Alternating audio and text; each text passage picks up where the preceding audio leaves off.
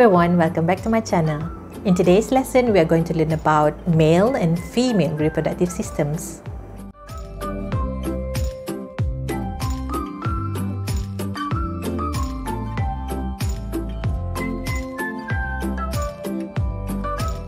Humans reproduce sexually.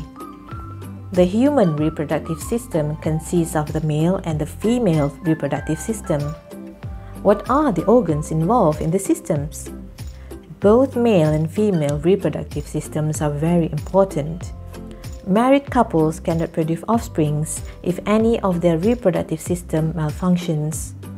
Let us study the structure of the male and the female reproductive systems. The diagram shows the structures of the male reproductive system. The testes produces sperms and male sex hormones, for example, the testosterone. The scrotum is a sac of skin to enclose and protect the testes.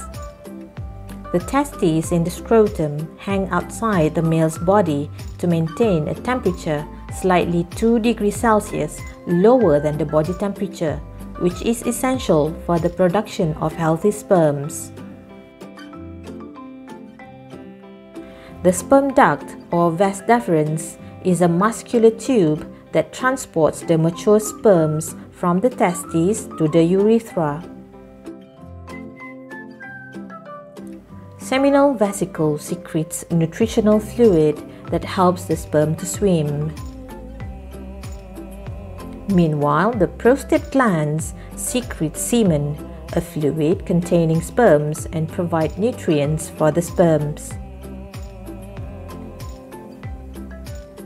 The urethra is a tube which transport semen and urine out of the body at different times. Penis is an organ which releases sperms into the vagina of the female during copulation. The diagram shows the structures of the female reproductive system. This is the ovary.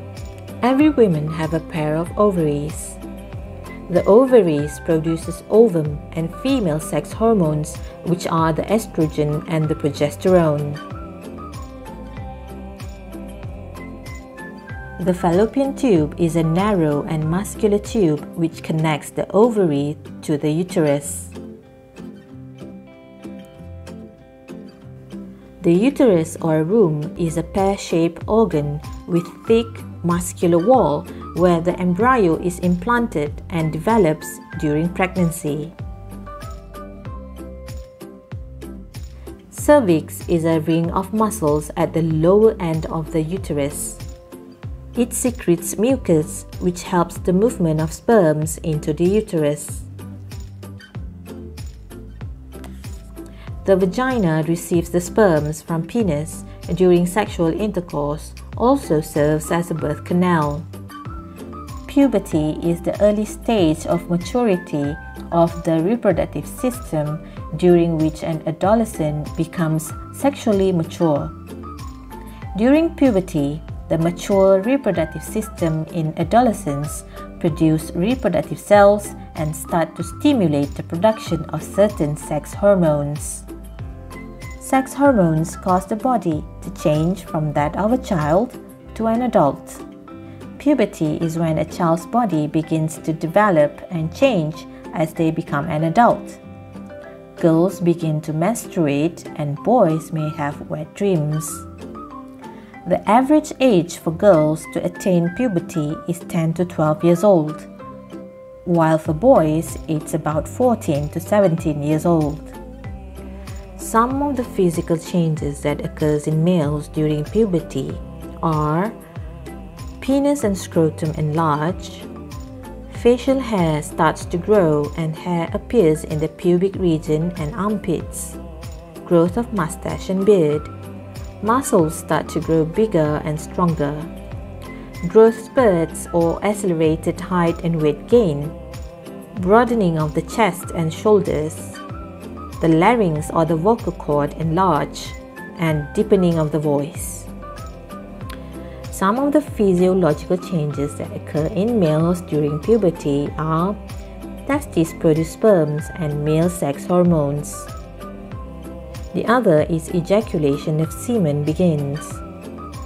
Some of the physical changes that occur in females during puberty are breast and uterus enlarge, their hips become firm and broader, and hairs appears in the pubic region and armpits.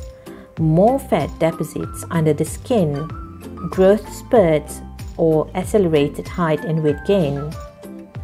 Some of the physiological changes that occur in females during puberty are ovary produces mature ovum and female sex hormones such as the estrogen and the progesterone.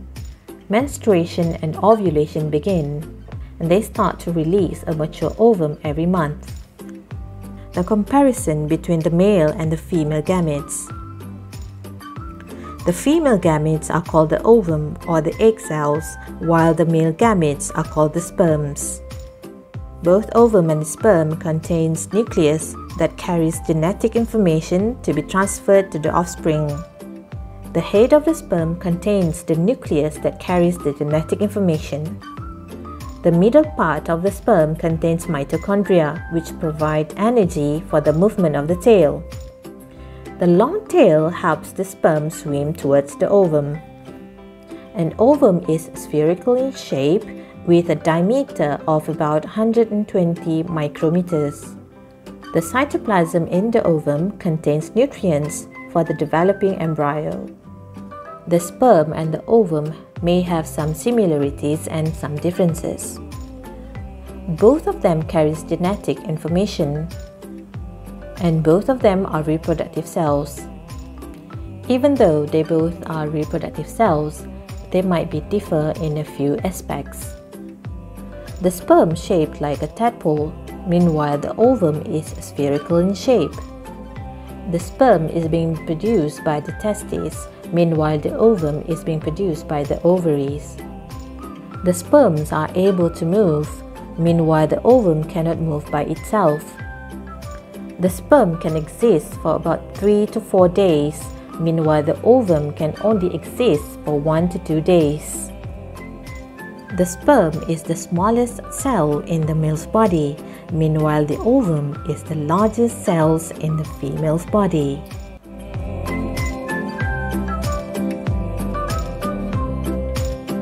Thank you for watching. See you again in our next lesson.